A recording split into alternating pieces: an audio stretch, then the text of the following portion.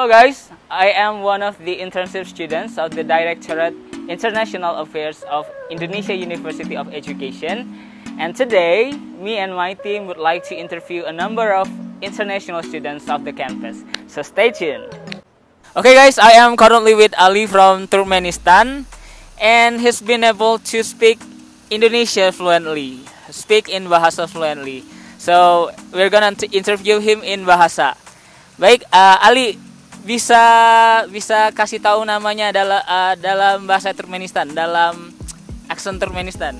Baik, Bismillahirrahmanirrahim. Perkenalkan, nama saya Merdan Nazar Lejo, biasa dipanggil Ali.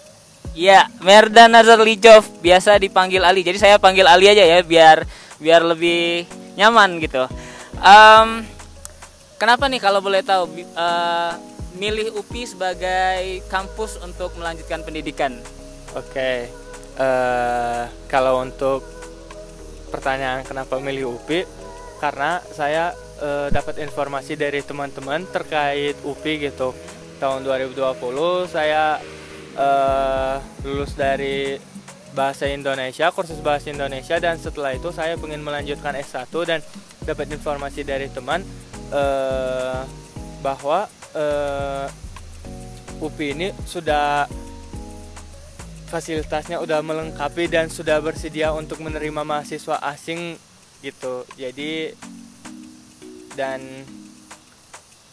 untuk fasilitas-fasilitasnya juga saya dengar luar biasa makanya saya pilih UPI gitu. Oh ya jadi uh, milih UPI karena berbagai alasan dan salah satunya karena uh, UPI adalah salah satu kampus yang uh, punya fasilitas-fasilitas yang bisa dibilang kelas dunia ya baik kalau boleh tahu uh, apa ekspektasi sebagai mahasiswa internasional yang kuliah di luar negeri khususnya di Indonesia dan apakah UPI memenuhi ekspektasi-ekspektasi Ali? Iya, eh, sangat memenuhi gitu.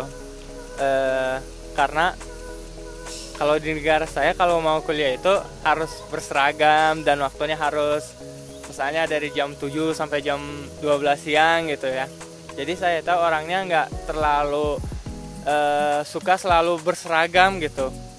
Orangnya eh, senangnya lebih bebas gitu. Jadi kalau dibanding sama kuliah yang negara saya dan Indonesia gitu salah satu alasannya itu karena kuliahnya bisa uh, apa ya seragamnya bebas mungkin asal kita fokus dengan apa yang kita pelajari gitu dan apakah Bandung uh, apakah Universitas Pendidikan Indonesia dan Bandung uh, adalah tempat yang menurut Ali nyaman untuk melanjutkan studi? Ya sangat nyaman karena saya uh, orangnya adalah orang yang menyukai uh, alam gitu. Pencinta alam lah istilahnya. Jadi uh, ketika saya datang ke Bandung saya sangat uh, betah gitu dalam waktu yang sangat singkat gitu.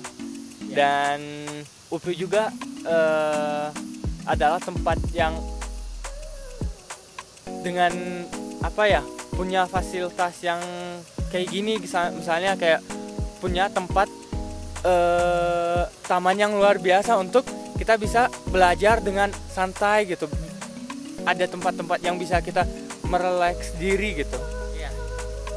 Sebenarnya saya sebagai sebagai mahasiswa UPI juga sangat setuju uh, tentang pendapat Ali. Uh, menurut Ali, uh, apa pendapat Ali tentang sivitas akademika UPI khususnya teman dan dosen? Oke, nah pertanyaan ini saya bisa menjawab dengan sangat eh, senang gitu. Karena alhamdulillah saya jurusan manajemen di UPI dan dosen-dosen saya ya pastinya seluruh dosen UPI-nya ramah. Tapi eh, kalau kita mau ngobrolin tentang dosen manajemen alhamdulillah sangat luar biasa dan selalu eh, kalau mereka mengajar itu dengan saya misalnya mahasiswa asing nih kan belum terlalu lancar bahasa Indonesia gitu. Tapi ketika mereka yang mengajar itu apa yang mereka eh, mengajar saya bisa dapat gitu dengan mudah gitu. Dan untuk teman-temannya juga alhamdulillah semuanya ramah dan selalu siap untuk dan bersedia untuk membantu gitu selalu saling membantu lah gitu baik teman-teman manajer pastinya sangat bangga dan sangat senang punya Ali sebagai mahasiswa internasional. Baik, uh, pertanyaan selanjutnya Ali, um, di opini Ali, uh, apa benefit yang udah didapat selama berkuliah di UPI? Alhamdulillah, uh, kalau kita mau ngobrolin terkait benefit itu sangat banyak sekali gitu. Sekarang saya semester 4 uh, sudah dua tahun. Selama dua tahun apa aja yang saya dapat itu Alhamdulillah tahun 2021 saya sudah menjadi duta kewirausahaan Putra Bumi Siliwangi. Uh, sekarang saya juga aktif di himpunan mahasiswa gitu. Mahasiswa manajemen ya alhamdulillahnya saya dapat banyak sekali berpengalaman terkait jurusan saya juga manajemen mungkin terkait sponsorship dan lain-lain. Dan saya senangnya uh, pengabdian masyarakat gitu. Jadi kalau misalnya ada kegiatan-kegiatan terkait pengabdian masyarakat gitu saya selalu ikutan gitu. Oke baik. Uh, menurut Ali uh, apa yang paling dikangenin dari negara asal dari Turkmenistan? Baik. Uh, menghampiri tiga tahun saya belum pernah mudik gitu belum pernah balik ke negara saya dan ya sangat kangen sama keluarga saya. Uh, selain itu ya kangen juga sama teman-teman dan saya kangen sama salju sih. Jadi jadi uh, selain keluarga yang juga dikangenin dari Turkmenistan adalah salju ya, seperti itu. Um, Pertanyaan selanjutnya uh, setelah mungkin nanti lulus, apakah ada keinginan untuk lanjut bekerja di Indonesia? Uh, insya Allah ya, kalau misalnya saya dapat pekerjaan yang apa yang saya inginkan gitu, saya pengen melanjut kerja mungkin ya siapa tahu kalau dapat jodoh gitu kan bisa menjadi keluarga di sini gitu.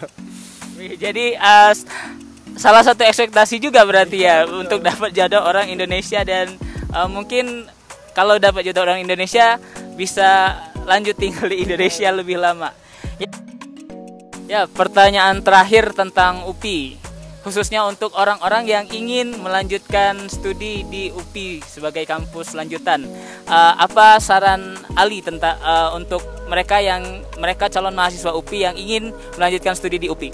Oke, baik uh, ya betul sekali saya sangat merekomendasikan kuliah di Universitas Pendidikan Indonesia ya karena salah satu alasannya juga Universitas Pendidikan Indonesia ini bukan hanya uh, dipenuhi dengan pendidikan saja gitu.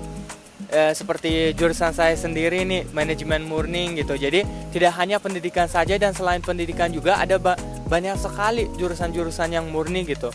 Dan uh, seperti yang kita tahu gitu sekarang di Universitas Pendidikan Indonesia banyak perkembangan gitu banyak uh, ada beberapa pembangunan dan insya Allah ke depannya akan uh, ada beberapa fakultas yang baru gitu.